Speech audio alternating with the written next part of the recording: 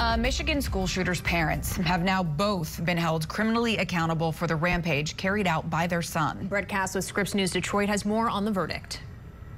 Guilty of involuntary manslaughter. With the verdict in, the shooter's father found guilty. Four counts of involuntary manslaughter, one for each of the four students killed. We're strong parents. We are because we had we had strong kids. We had great kids. That's Madison Baldwin's mother, just one of the parents still grieving from the shooting at Oxford High School. She, along with the parents of Hannah St. Juliana, Tate Myre, and Justin Shilling, lost their children that day.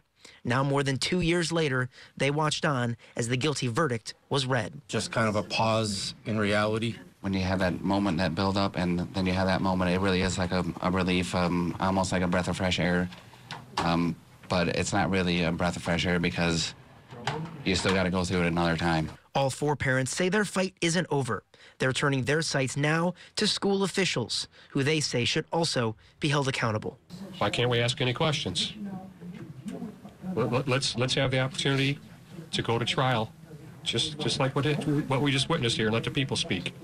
We're being denied that right. It's a long road. It's a hard road, but we are all determined to go down that road. We, we got this behind us. Um, it was a big step. Uh, we had our small bit of accountability on both sides, and now we, we have to go for the big picture and, and wrap this thing up and, and uh, hold everybody accountable.